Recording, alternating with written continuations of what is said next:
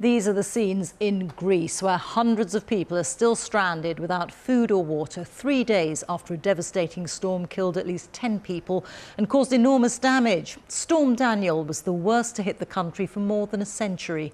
It's left a trail of devastation across the central region of Thessaly. Sofia Bettiza reports now from Larissa. A trail of devastation across central Greece. This region was hit by the heaviest rainfall the country has seen since records began. Entire villages have been engulfed by water. And a massive rescue operation is underway to evacuate hundreds of people trapped for days. Many without food or drinking water. Xenia has lived in her house for more than 30 years. And is that the one in, in the yellow tent? Yes. It's completely submerged in water. Yes. My home is completely destroyed. I have nothing left. All I have is my work, this house, and my children, and now our home is gone.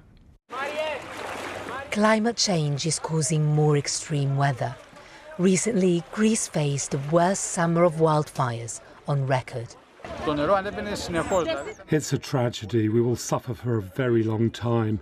The damage to our homes is irreparable. A lifetime's work gone in a couple of hours. The damage to infrastructure is enormous. Many roads are impassable and bridges destroyed, adding to the problems faced by emergency workers. Many people here are furious at the Greek government.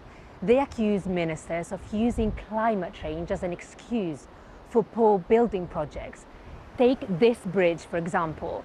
It collapsed three years ago because of a cyclone, so it was rebuilt. And now it's completely destroyed again. For many Greeks, this is a symbol of government failure. The army has been brought in to distribute food. This storm has destroyed crops on some of Greece's richest land.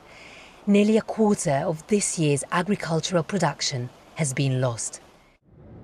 Tourism will suffer too, another blow to Greece's already fragile economy.